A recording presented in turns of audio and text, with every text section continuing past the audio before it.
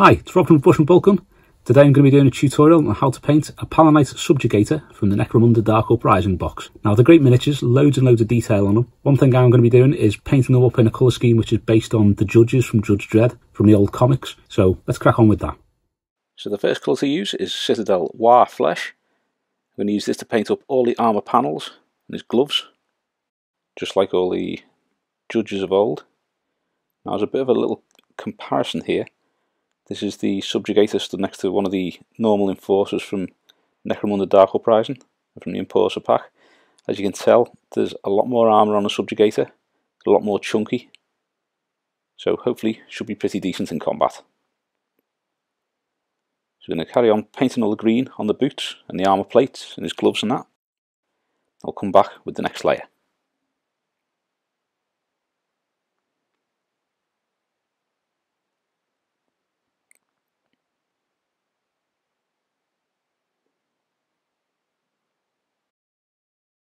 Next colour we're going to use is Citadel Retributor Armour. I'm going to use this for parts of his shield and parts of his helmet and also the main canister sections on each of the grenades basically being painted up like they're big rounds of ammunition.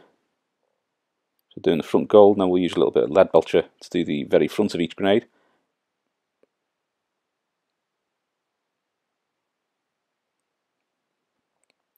I'm also going to do the shoulder pads with the gold thing to represent the shoulder pads that are gold on Dredd and his pals. Now when we come back, we'll have all of the gold finished. Next up we're going to use a little tiny bit of Ahriman blue. That's just going to be to do his eye lenses. Now if you have a look at the gold on the shield there, I've done it in the parts of as though it's kind of like an eagle. If you look at the old riot shields on Dredd, they're a lot smaller, but they kind of had a big gold eagle on the front. So I've coloured this shield as though it's maybe the top of an eagle with the wings drooped down. I'm not going to into any more detail on that.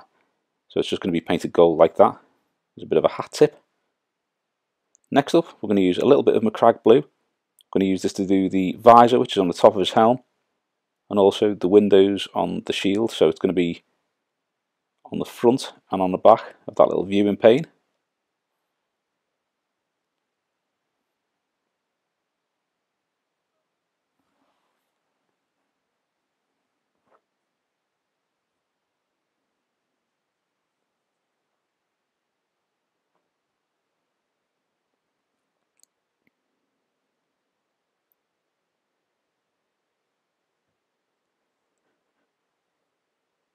Next up, we're going to be using Vallejo Olive Drab. I'm going to be using this to do the grenades on the back of his shield and on his back, and also all of the straps that are holding on the armour plates on his boots, his arms, and around his body. Now one of the great things I find about these miniatures is when you look at the Enforcer miniatures next to them, they're pretty much the same miniature, but the Subjugator has got all these extra plates strapped to him. So when you look at the Enforcer's legs, it's basically where the straps are. If you take those straps off and the armour plates on the front, you'd have exactly the same boots as the Enforcers. I think it's a really, really nice touch that they've done to them. So you can see the majority of the base colours there, the extra arm plates on them, which are showing up under the main plates on the front, underneath the kind of bottom of his tunic, as it were, his jacket. They were ones that I didn't originally paint up because I didn't quite spot them there. Now we're going to move on to Citadel Averland Sunset. And this is just going to be to do the Necromunda badge on the front of his shield and on the front of his chest. Although the rest of the miniature is being painted differently and more like Judge Dredd. I wanted to have the Necromunda badge on the shield on the front because I think it's a really cool badge the way it's almost like an Aquila but almost like a skull as well. It's a really great symbol that so I wanted to do that as best I could. So we're keeping these badges exactly the same as they are on the standard miniatures paint job.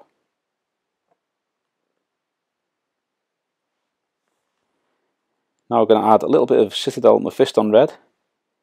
I'm going to use this to just line parts of his helm. Now you'll see this better on the Enforcer video that I'll be doing in a few weeks, where it has the outline of the front of the helm done in red like the judge's helmets.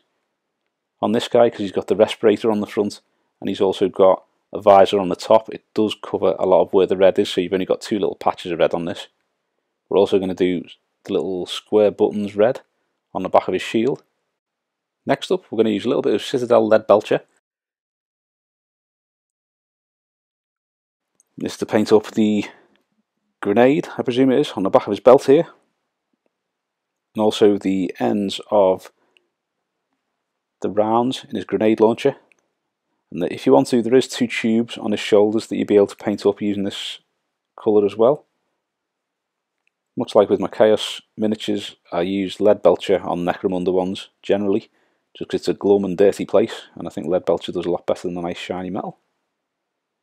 Now I'm going to start with the shades, and I'm going to start with Citadel Seraphim Sepia. I'm going to be using that just to do around the edges of the two yellow Necromunda badges. That just grinds it up and makes him look a little bit dirty around the edges. You're doing that on his chest and on his shield as well. Next up, we're going to use a little bit of Drakenhof Nightshade.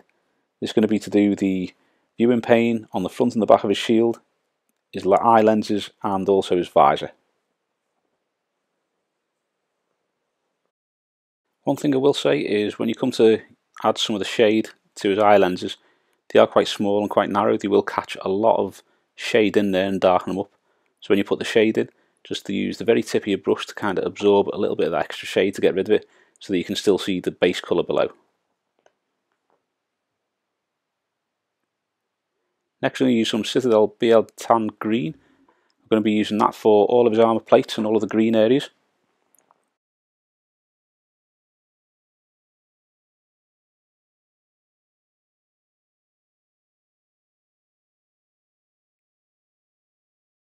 When I say the green areas, I don't mean the straps. We're going to be using Athonian Camoshade to do the straps. So just all of the armour plates that we've done in Waaagh! Flesh and all of the pouches.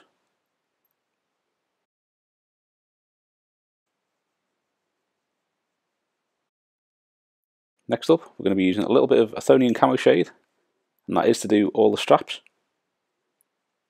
So the straps on his front, the back of his legs, the inside of his arms, and also the little grenades which we've done in the same olive drab.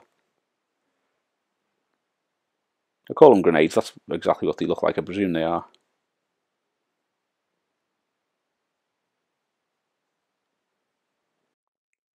Now we're moving on to Citadel Nuln Oil. And this is only to do the sections that we've got Leadbelcher on. Apologise if you can hear any noise in the background when I'm talking, I've got a little cat who is trying to savage my hand while I'm recording here. The final shade is going to be Citadel Agrax Earthshade. I'm going to use this on all of the golds.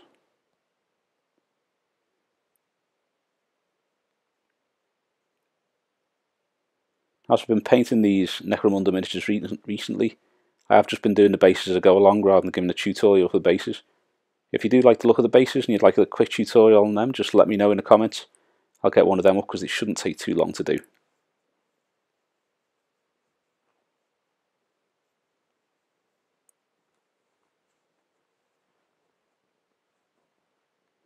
Now we're going to add Citadel Druchii Violet, which is the final shade. This is going to be a tiny little spot on each of the sections of red. Like so.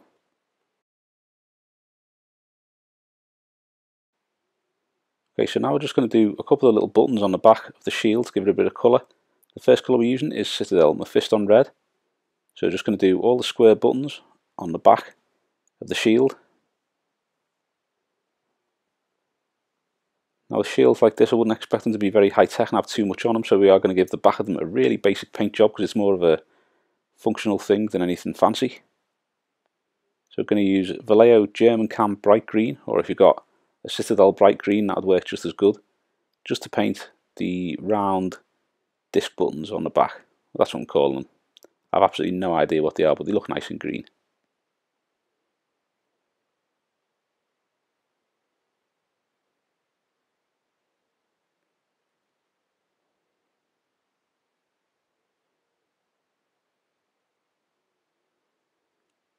Like so.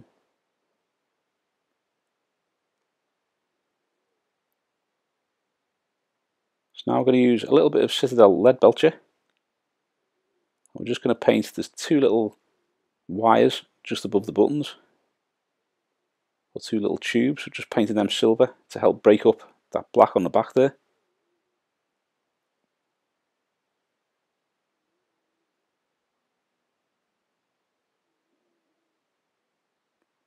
Next up, we're going back to the Retributor armour. Now when we're reapplying this, you want to be thinking about where the light's catching the shield. So each one of these guys' shields is at a slightly different angle, so the shading is all going to be slightly different on each one that you do. So we're going to put a lot of the Retributor armour back on, but you want to make sure that the main sections of it, which are highlighted, are the bits that are going to catch the light the most. Doesn't matter too much with this layer because this is just getting the base gold back on. You also want to make sure you leave some of that Agrax shade in the recesses, just so you get that dirty, grimy look about it. Next colour we're using is Citadel Liberator Gold. We're going to use that to start the highlights on the gold. So this is where you really want to be going for the areas that are going to catch the most light. So on any upward facing edges, areas where the light's going to catch it more. So generally where you've got it the original gold next to a ridge or on the underside, you're not going to put that much Liberator gold on it.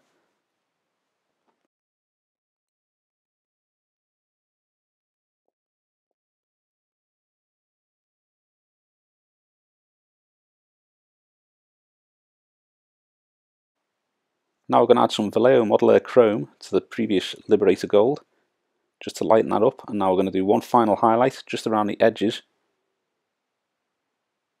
around some of the ridges and the nooks that are on his armour. You notice where he's been cut from the sprue on his shoulder pads, there is some quite big dents there.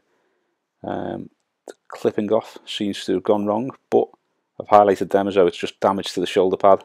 It looks pretty good when it's done anyway.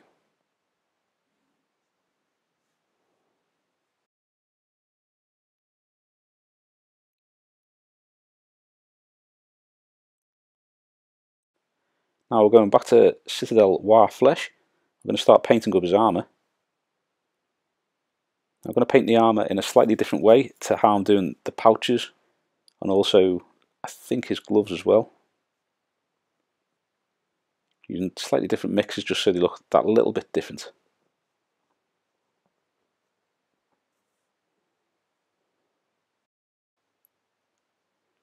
As always you want to be painting this as though it's mainly the areas that going to be catching the light and getting this base colour back on. So you're leaving quite a little bit of the shade in the recesses where the light wouldn't be hitting too much. Now we're going to add some Vallejo white to the Waaagh! flesh.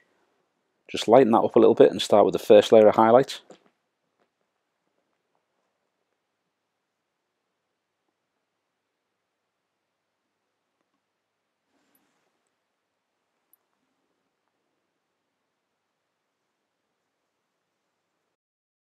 Can see here the highlights are going on the upper sides of all the armour, or the areas that are going to be catching the most light. If the light was coming from directly above.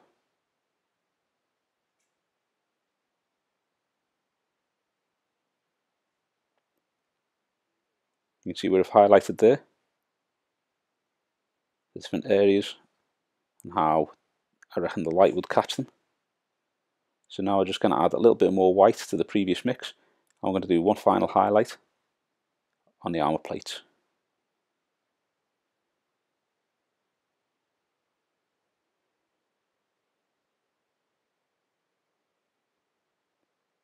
Really did like these miniatures. The uh, subjugators have still got another four to paint, I think. I've got another five enforcers to paint. I'll be doing an enforcer video of the sergeant in the coming weeks. I really did enjoy painting them up. They're great models and you've got a ton of detail on them.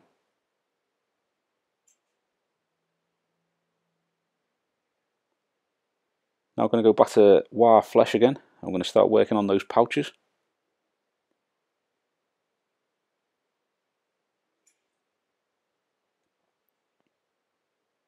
There is a lot of detail on the pouches, little creases and little ridges running down them.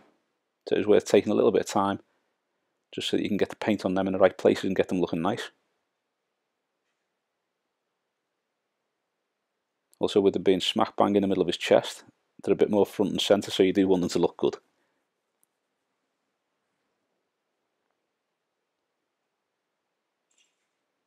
Now we've added a little bit of Skarsnik green from Citadel to the Waaagh! flesh just to lighten it up a little bit. And this just gives it a slightly different colour to the armour plate. So although they may have been once the same green, ages maybe faded them, or they just got that slightly different colour because of the texture of the material or what have you, but just to make them look a little bit different from the armour plate.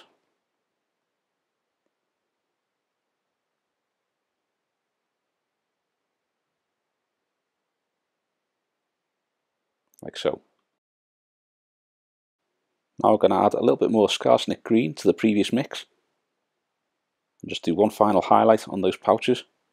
On this highlight you want to be doing the top edges, and the little ridges where the lighter catch. You don't want to be going all over the whole thing with this.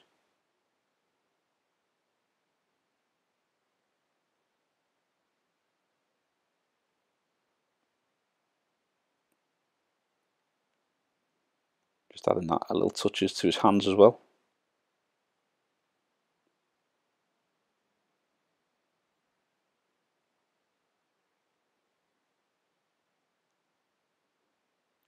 Like so. Now going back to the emblems, I'm going to use Citadel Averland Sunset once more. Just reapply this. And when I'm applying this, I try and rotate it so that you're getting the brush strokes coming away from the edges where the Seraphim Sepia is just so you can kind of drag the paint away and get that a little bit more of a smooth transition. If you do get a nice straight line where you've put the Averland Sunset too thick around where the sepia is, you can just get a little bit of sepia put that back in like I've just done there. Put a little bit underneath there as well and smooth that off. Next up we're going to use a little bit of Citadel Yriel Yellow. I'm just going to highlight the top half of the circle on his shield and about the bottom quarter or bottom third of the circle on his chest.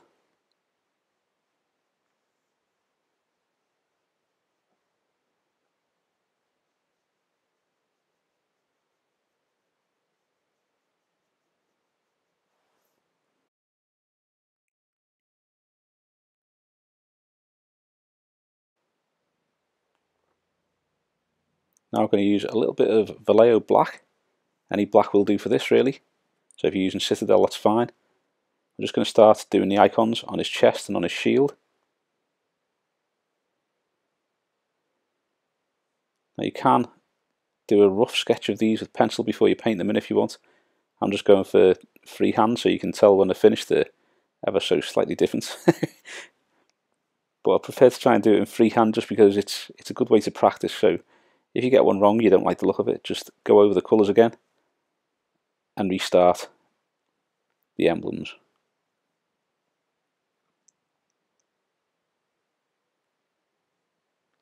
Now we're going to the Citadel Mephiston Red once more. We're just going to start working on the highlights, these little bits on his helm.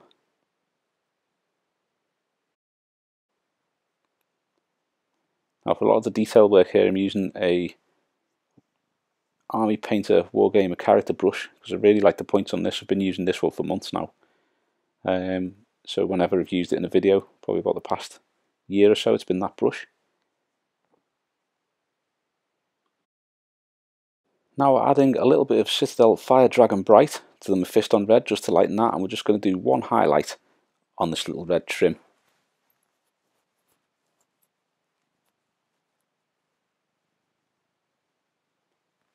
Ordinarily I'd do two highlights on it, but because it's such a small area, I didn't see the point in spending too much time on it. Because it will be used for gaming on a tabletop. There's always a mountain of figures to paint.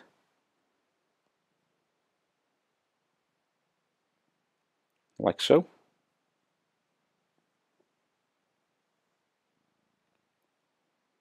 Now we're going to use a little bit of Vallejo Olive Drab and we're going to start working on those straps again. So with the straps, they all tend to have a little kind of concave area. So where the concave, I try and do the edges of the raised edges of the concave with the olive drab again. And then where it sort of smooths out like where it's flat against the back of his armor plates and things like that. I tend to do the, the whole section of that painted with the olive drab.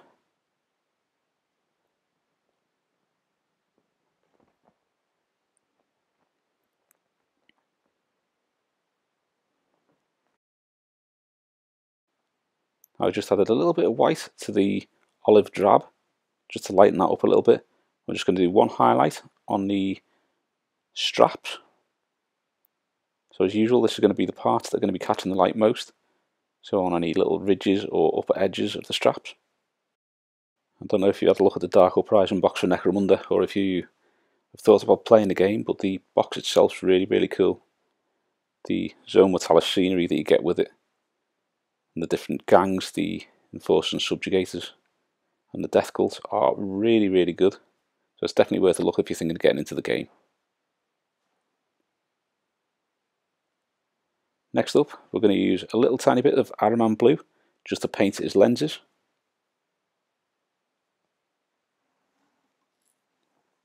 When you're putting these on, you just want to make sure that you're leaving a little tiny bit of the Drakenhof Nightshade around the edge of each lens.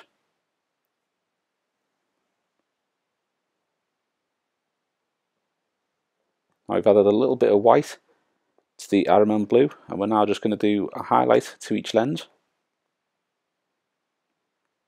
Now I'm doing the highlight to the front of the lenses here because I expect that the helm will be slightly more covered or the helm would cover the lens slightly more towards the back of the lenses I should say. So I'm doing the highlights towards the front of the lens.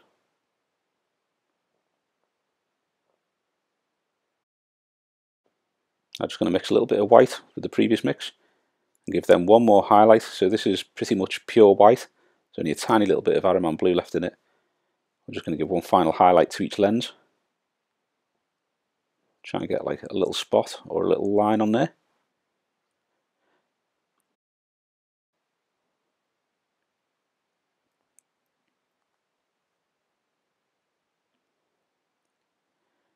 Now what we've done here is using a little bit of white mixed with Macragge blue.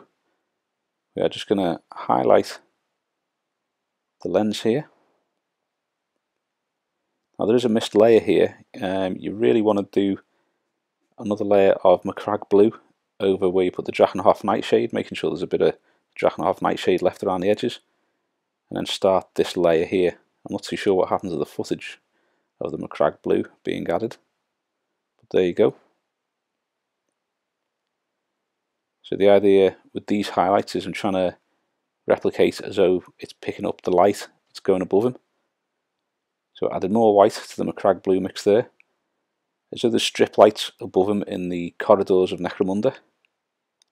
And that that is what is being reflected on the visor on his helm. Also on the panels of his shield there on the back I'm doing a reflection of the same light bulb that's on his visor and also a little reflection of his eyes. While on the front I'm going to be trying to do as a light from the front of his shield where the two torches are is shining onto the ground and illuminating the edges and the patterns on the ground there. So now we've added a little bit more white to the previous mix and we're going to give that another highlight.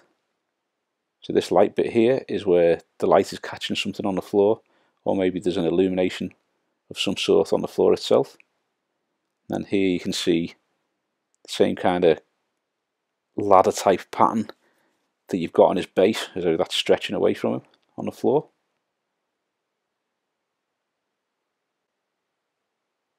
then we're doing the two lines for his eyes and also the highlighters of the lamp above him is on his shield too.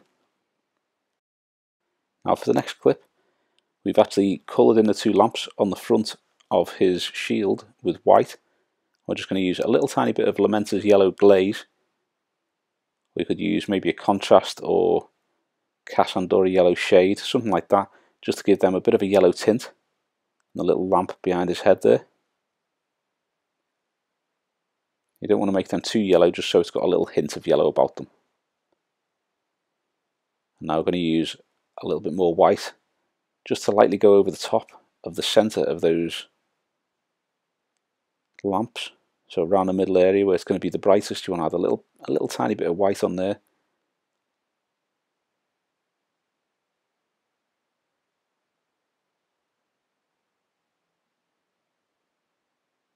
Like so.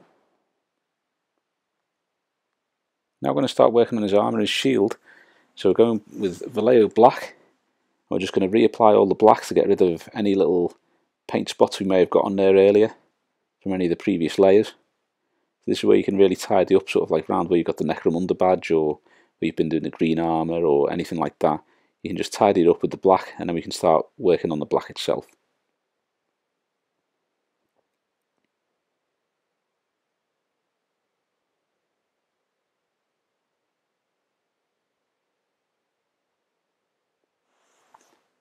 We'll come back once all that's finished we'll start on the next layer. Now using a little bit of German grey from Vallejo. We're going to be highlighting all the areas of the black which will be catching the light. On this we're also only highlighting the areas of black which is on his shield and on his armour plates as well and on his boots also on his grenade launcher because the cloth of his jacket we're going to be doing with a blue tint to it so this is only for as I say the shield, the armour, his gun and his boots. When I say armour I also mean his helm as well.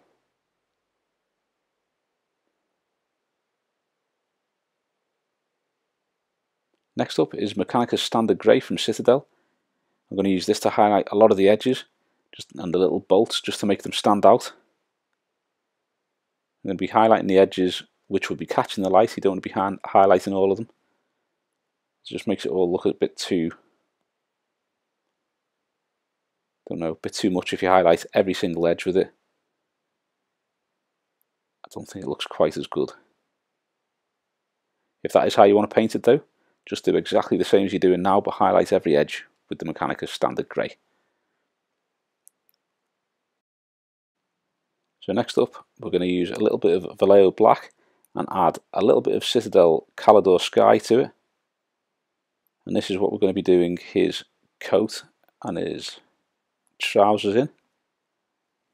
And this is just to give the black clothing that hint of blue look the Dredd and all the judges used to have on their clothes. So it looked like it was black but then you'd have this kind of dark blue hint to it. So you're going to be applying this to the clothing between the straps above the straps and the bottom part of his coat and also on his arms. We're going to add a little bit more Caledor Sky to that and do a nice highlight on the clothing.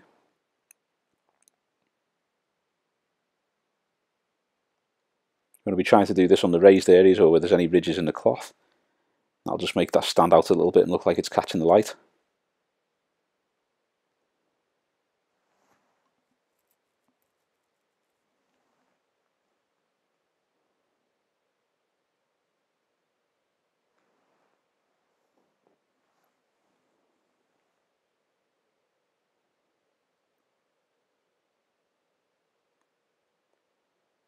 Going to add a little bit more Caledor Sky to it once more. I'm just going to do that one final highlight, highlighting smaller areas than we've just done. That should give us that nice tint that we want on his clothing.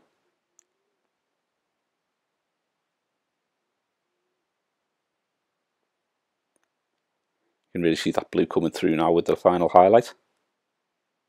It still looks dark enough to look black like so. And that is the finished subjugator. Here's had the spray with matte varnish. I've used gloss varnish on the visor and the viewing screens on his shield. Thanks for watching. Hope you've enjoyed the video and if you have, please give us a thumbs up and subscribe to the channel so you don't miss any future content. Also, think about subscribing to some of our other social media linked below. Thanks very much.